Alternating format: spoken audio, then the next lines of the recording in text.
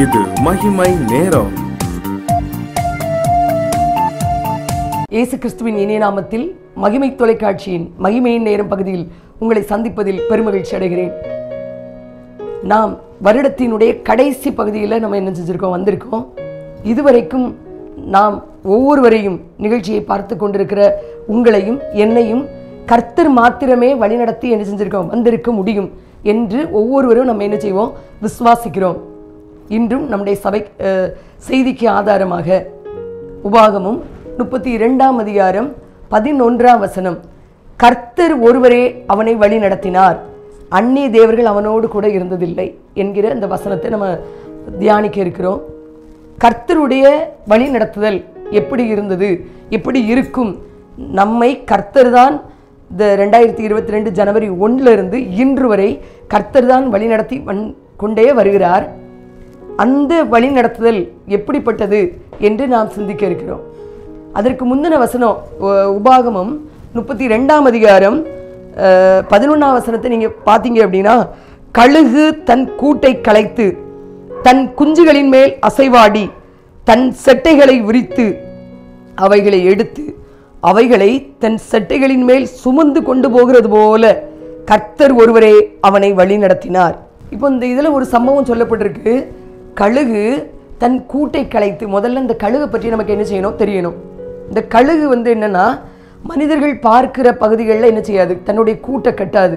எங்கே கட்டும் அப்படின்னா மலை உச்சி பெரிய குன்றினுடைய மேற்பரப்பில் மலை குன்றின் மேலே போய் என்ன செய்யும்? தன்னுடைய கூட்டை கட்டும்.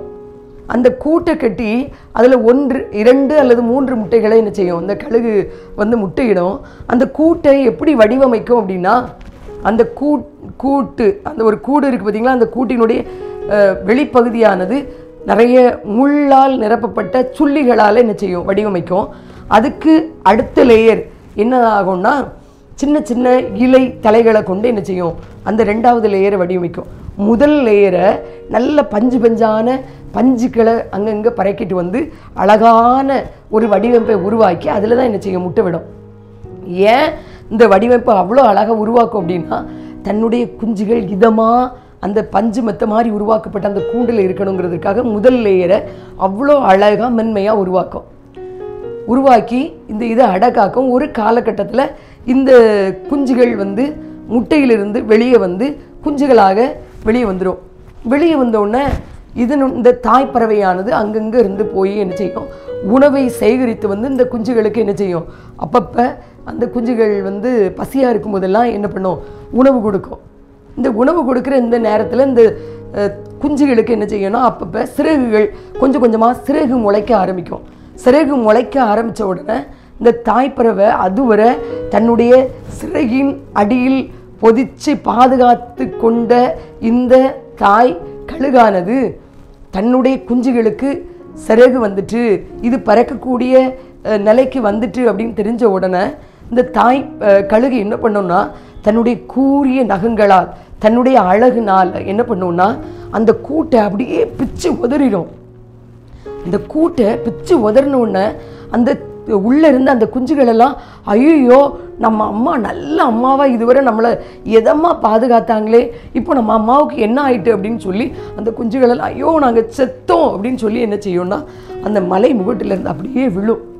விழுறதுக்காக கீழே விழும்போது இந்த தாய் பறவை என்ன பண்ணும்னா தன்னுடைய பெரிய சிறகை கீழே போய் அப்படியே அந்த குஞ்சுகள் விழக்கூடிய அந்த தருணத்தில் அப்படியே பறந்து வந்து தன்னுடைய சிறகை அப்படியே விரிக்கும். விரித்த உடனே அந்த குஞ்சுகள் எல்லாம் அப்படியே பறந்து வந்து எங்கே விழும்னா? தன்னு தன்னுடைய தாயினுடைய அந்த இறகுல என்ன செஞ்சிடும் அந்த குஞ்சுகள் இருக்கும்.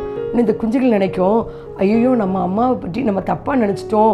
நம்ம அம்மா என்னம்மா நல்ல அம்மா தான் நம்ம அம்மா நம்மளை வந்து பயம் காட்டலை.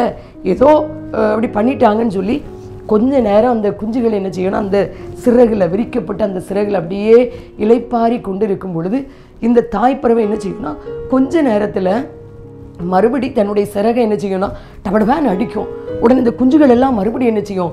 கீழே வில் விழுற மாதிரி ஐயோ அம்மா எங்களை காப்பாத்துங்கன்னு சொல்லும்போது மறுபடி இந்த தாய்ப்பறவையானது அந்த குஞ்சுகளுக்கு கீழே பறந்து வந்து அப்படியே தன்னுடைய செட்டை விரிக்கும்.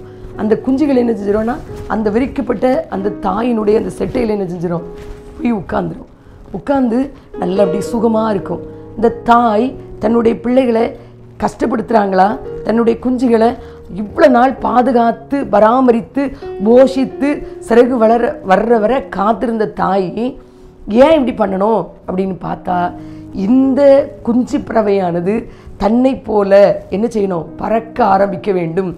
தன்னை போல உயர உயர பறக்கணும் அப்படின்னா இந்த குஞ்சுகள் இந்த மாதிரியான சோதனைக்கு என்ன செய்யணும்? ஆட்பட வேண்டும் உட்பட வேண்டும்ங்கிறது யாருக்கு தெரியும்? அந்த தாய்க்கு தெரியும். அதுபோல தான் பிதாவாகிய தேவனும் நம்மளை நடத்தி வந்த வழிகளில் ஒரு சில நேரங்களில் நமக்கு ஒரு சில இக்கட்டுகள் வந்திருக்கலாம்.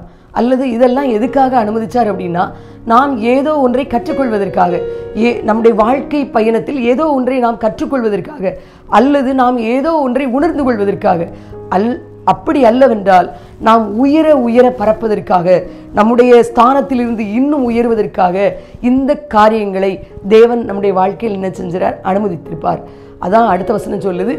இந்த கழுகு எப்படி தன் கூட்டை கலைத்து தன்னுடைய குஞ்சுகளின் மேல் அசைவாடி தன்னுடைய குஞ்சுகளை பறக்க காட்டி அதை உயர கொண்டு போனதோ அதுபோல கர்த்தர் ஒருவரே உன்னை வழி நடத்தினார் என்ற அந்த புரிதல். க ஒரு சில சி- சிக்ஷைகள் வந்திருக்கலாம் ஒரு சில இடர்கள் வந்திருக்கலாம். நம்முடைய குடும்பத்தில் நாம் எதிர்பார்க்காத ஒரு சில காரியங்கள் நடந்திருக்கலாம். ஆனாலும் கர்த்தர் நம்மை வழி நடத்தினது அந்த சிற்சைகளில் நம்மை அனுமதித்தது அந்த ஒரு சில காரியங்கள் நம் நாம் வேண்டாத விரும்பாத ஒரு சில காரியங்கள் நடந்தது.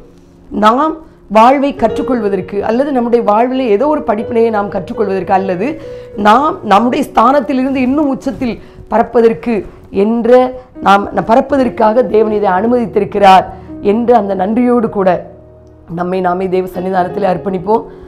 ஜெபம். பரலோகத்தின் பிதாவை நாங்கள் உண்மை துதிக்கிறோம் ஸ்தோத்தரிக்கிறோம் ஆண்டவரே.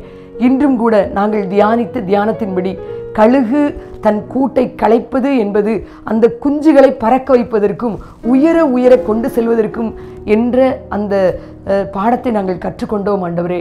நீர் எங்களை வழிநடத்தும் பொழுது அந்த பாதைகளிலே ஒரு சில இடர்கள் இட இடிபாடுகள் எங்களுக்கு வந்தாலும் கூட அவைகள் எங்களை மெருகேற்றுவதற்கு தான் என்று இந்த பாடத்தின் வழியாக நாங்கள் கற்றுக்கொள்கிறோம் ஆண்டவரே.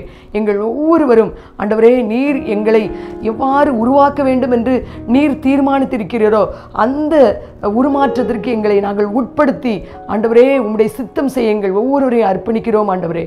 மீ துதிகணம் ஐமையெல்லாம் தேவரீர் ஒருவருக்கே உரித்தாவதாக. இயேசுவின் நாமத்தில் ஜெபம் கேளும் அருமை பிதாவே ஆமேன்.